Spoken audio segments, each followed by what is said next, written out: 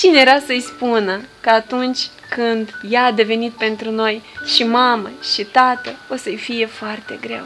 Dar, mamă, niciodată nu ai lăsat ca soarta să te înfrângă. Ne-ai luat pe ambii în brațe, aveam practic aceeași vârstă, eram atât de grei, dar, mamă, alții au vrut să te vadă în genunchi, însă în genunchi, mamă, nu ai stat niciodată. If all of the kings had their queens on the throne, we would pop champagne and raise a toast. So waiting to all of the queens who are fighting alone, baby, you're not dancing yeah. on your own. Let's go. Without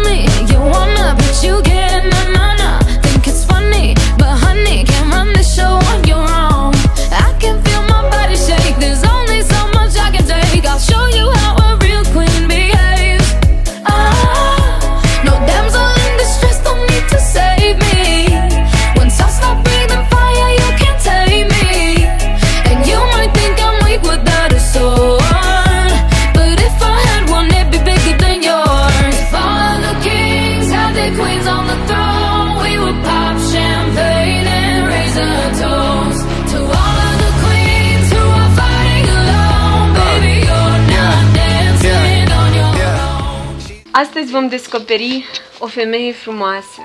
Astăzi vom descoperi acei 45 de ani pe care ea îi lasă în spate. Astăzi vom descoperi o soartă pe care ea nu și-a ales-o, dar Dumnezeu i-a dat-o. Astăzi această femeie, da, poate să spună, au trecut ani pe lângă mine ca vântul, dar să știți că au lăsat și o amprentă. Astăzi, cu permisiunea voastră, voi spune mesajul de felicitare de la persoana întâia, în așa fel ca dumneavoastră să-l simțiți, așa cum și eu l-am simțit atunci când pentru prima dată l-am auzit. Draga noastră măicuță, nu există limbă prin care am putea noi să spunem în cuvinte ceea ce simțim noi pentru tine. Draga noastră măicuță, am apărut în viața aceasta atunci când tu erai foarte tinerică. Cine era să-i spună că atunci când ea a devenit pentru noi și mamă și tată, o să-i fie foarte greu. Dar, mamă, niciodată nu ai lăsat ca soarta să te înfrângă. Ne-ai luat pe ambii în brațe, aveam practic aceeași vârstă, eram atât de grei, dar, mamă, alții au vrut să te vadă în genunchi, însă în genunchi, mamă, nu ai stat niciodată. Te-ai ridicat pentru noi, ai luptat pentru noi, ai muncit pentru noi și ai încercat pe tot parcursul vieții tale să ne faci o casă, o masă și o soartă. Ne-ai învățat și ne-ai făcut la ambii ghiozdani, ne-ai încălțat și ne-ai îmbrăcat. Și mamă, vreau să-ți spun un singur lucru, pe masa noastră ai știut fiecare fărâmă de pâine pentru ce ai pus-o și cu câtă muncă ai adus-o în casă. Mamă, ne-ai întreținut așa cum poate să o facă doar o mamă. Mama. Dar, mamă, tu ai luptat pentru noi ca pentru două persoane. Să știi, mamă, că niciodată nu vom uita acele dimineți frumoase alături de tine. Atunci când nu-ți înțelegeam lacrimile, atunci când ceream de la tine zâmbete, când nu era loc de zâmbete. Și să știi, mamă, un singur lucru. Viața ta a fost mereu în contradictorie. Ai fost prea naivă și prea înțeleaptă, prea puternică și uneori prea slabă. Dragă mamă, dar niciodată, niciodată nu vom uita tot ce faci, ai făcut și vei face pentru noi. Astăzi, mamă, ești foarte tânără, ești nu doar mamă, dar ești și bunică. Și îți promitem un singur lucru, mamă, că vei veni acel moment când vei face cunoștință cu el, cel mai mic membru a familiei noastre. Mamă, vreau să spun că doar atunci când l-am adus pe lume, pe Robert, am înțeles un lucru. Cât de greu, mamă, ți-a fost. Cât de greu ți-a fost să ne îmbraci, să ne încalți și să ne găsești de mâncare. Mamă, îți sărutăm mâinile trudite, îți sărutăm munca ta și îți sărutăm soarta, care, cred eu, că altă femeie nu ar fi îndurat-o niciodată atât de destoinic, cum ai făcut tu, mamă.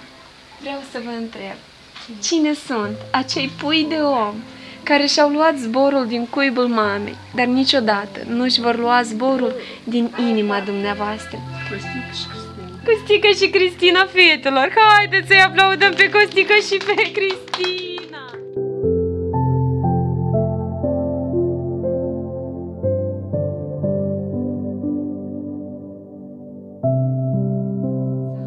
Astăzi, mamă, meriți o floare, nu ruptă, fiindcă nu-i niciodată, nu ne vom rupe din sufletul și inima ta.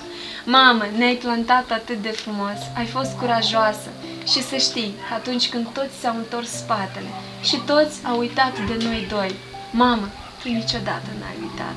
Tu ai luptat și continui să te lupți pentru noi. Această floare, vreau să încep cu ea, această floare va aparține Prima tulpină este a lui Constantine Constantine, iar cea de-a doua este, bineînțeles, a Cristinei. Constantin împreună cu Valentina vă spun, mamă, mai ai de jucat la încă o nuntă, să fii sănătoasă. Iar Cristina vă zice, mamă, mai ai de jucat la nunta lui Robert, fii sănătoasă. Din cauza aceasta, Ilie, Cristina, Robert, Valentina și Constantin Astăzi vă doresc doar și doar zâmbete. Eu ofer floarea, dar voi aplaudați din suflet. La mulți ani! Eu știu că dumneavoastră vă simțiți ca la 20 de ani și așa trebuie să fie.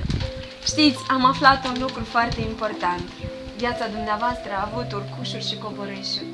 Au avut atâtea munți de înfruntat și uneori erați în genunchi, iar multă lume se bucura de acest lucru. Dumneavoastră știți ce ați făcut? Doamna Tatiana, v-ați ridicat și ați spus, am de luptat pentru doi copii. Și ați, asta ați făcut. Astăzi aveți două torturi, cu două cifre diferite. Ați făcut doi copii la o diferență foarte mică, de un anișor. Și parcă aici e diferența dintre 4 și 5, tot un anișor.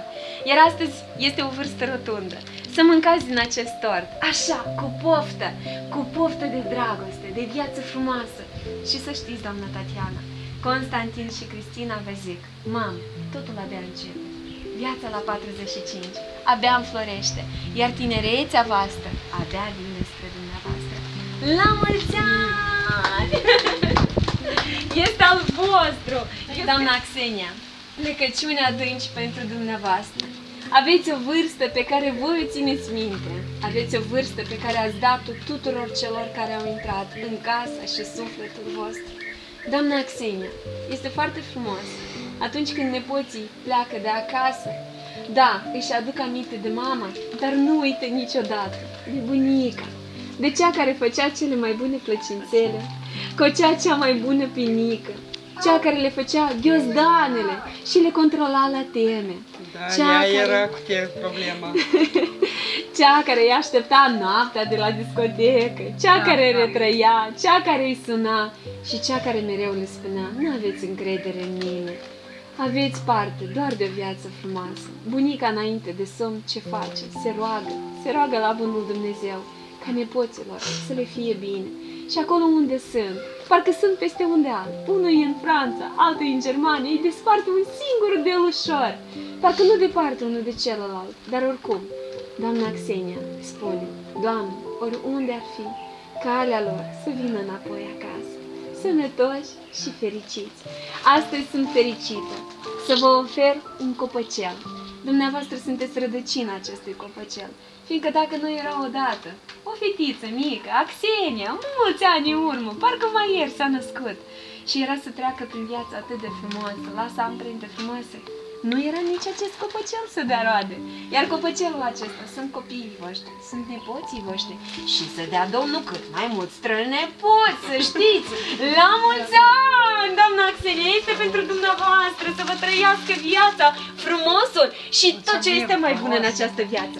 Doamna Xenia, astăzi, acest coș imens Știți, parcă, parcă nu de mult îi luați pe nepoții voștri cu un coș plin, cu pască pe la da. biserică, tot cu un coș plin de ouă roșii. Dar acum nepoții întorc înapoi aceste coșuri, doar că el cu vitamine.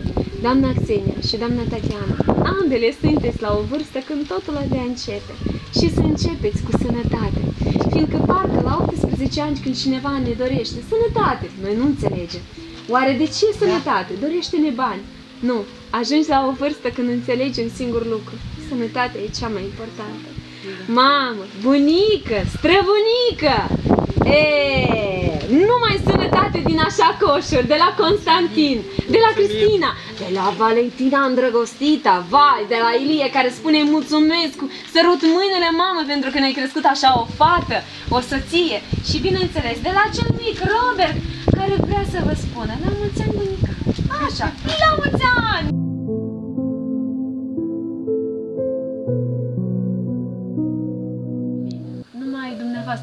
știați la ce oră vă treziți atunci când încă erați la piață, numai dumneavoastră știați cum retrăiați pentru fiecare legumă și fruct, numai dumneavoastră ați știut cât de mult ați așteptat un ajutor, dar el n-a venit.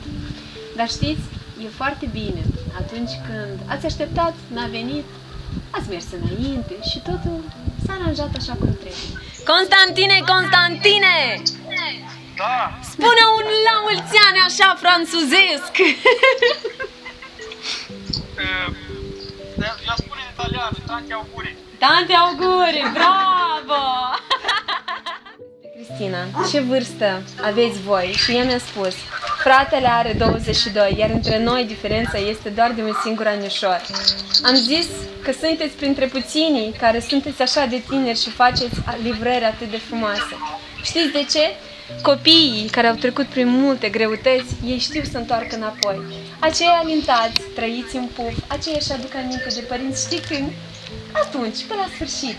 Da, voi băieți, nu, de tinerei, vreți să o întrețineți pe mama și bunica sănătoasă? Să rămână, mamă Plâng și-am obosit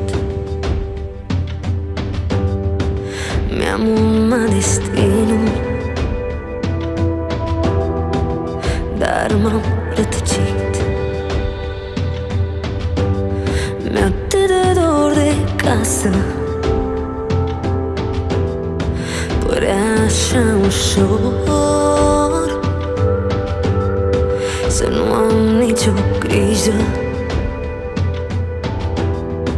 Am ochi uscați de dor.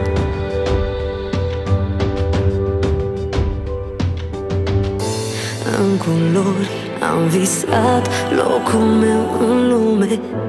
În culori Mi-am pictat un nume. Uneori Noricat pe mine Dar te aud cu vocea caldă Puiul meu, ești bine?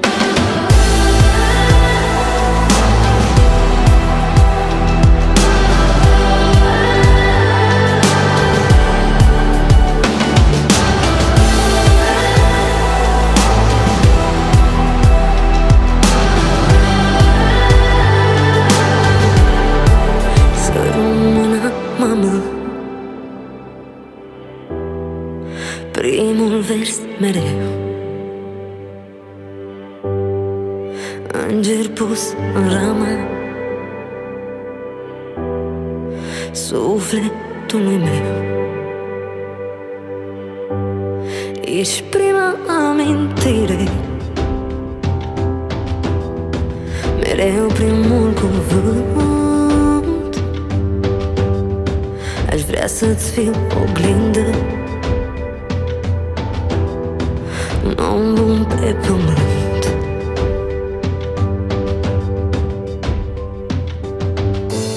În culori am visat locul meu în lume. În culori mi-am pictat un nume. Uneori noricat pe mine Dar te aud cu vocea caldă. Puiul meu, ești bine?